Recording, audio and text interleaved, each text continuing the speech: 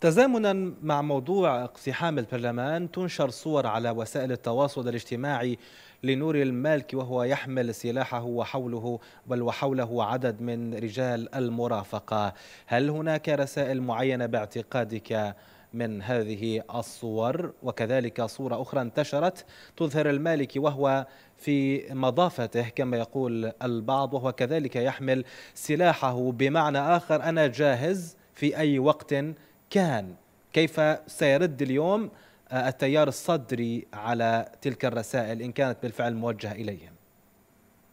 المزاج الشعبي العراقي بصورة عامة آه، معجب بالأفلام الهندية. الأفلام الهندية لها شعبية عند العراقيين من زمان.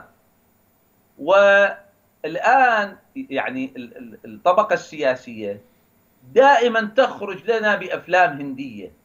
هذه الأمور يعني يحمل السلاح وحوله من المسلحين لو يعني لو تراجع أغلب السياسيين في في أوقات الأزمات نفس اللقطة ونفس المشهد يتكرر.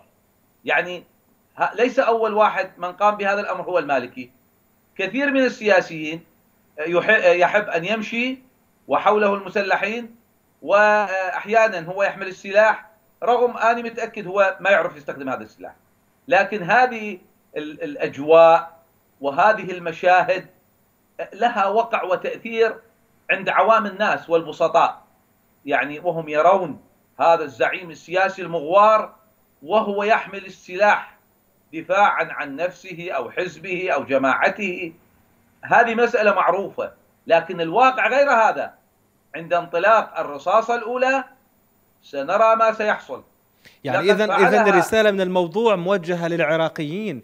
لشريحة المدنيين أكثر ما تكون موجهة لمقتدى الصدر. يخاطب الجماهير. يخاطب نوعية خاصة من الناس. الناس البسطاء والعوام تستهويهم هذه اللقطات. لذلك يحاول إخراجها بل ونشرها. أنه انظروا أنا ما عندي أي مانع. سأحمل السلاح وأقاتل. وأيضا لخصومة. أنه أنا جاهز. السلاح بجانبي. أنا الآن أحمل السلاح. رسائل متبادلة بين كل الأطراف. نعم.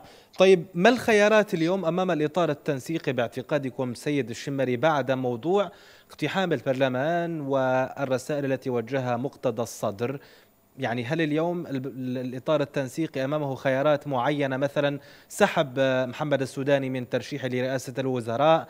الإبقاء آه، أو استبداله بحيدر العبادي أو يعني تأجيل هذا الاستحقاق لفترات مقبلة، ما السيناريوهات اليوم مطروحه أمام الإطار التنسيقي وكذلك أمام استحقاق هذا الاستحقاق بالذات، استحقاق الانتخابات. موضوع ترشيح شخص لرئاسه الوزراء مثل محمد الشياع السوداني على اعتبار أنه الرجل ينحدر من مدينة العمارة في جنوب العراق. وهو رجل قد انسحب من حزب الدعوة منذ منذ سنوات خرج من حزب الدعوة. وباعتبار يعني آه، ليس لديه خصومة مع الآخرين. رغم أنه أنا أرى أنه كشخصية محمد شيع السوداني شخصية سطحية وضحلة. يعني لا تمتلك المؤهلات الكبيرة لتبوء مركز رئيس الوزراء في العراق والبلد يعني يغرق في بحر من المشاكل. لن يحل مشكلة محمد الشيعي السوداني.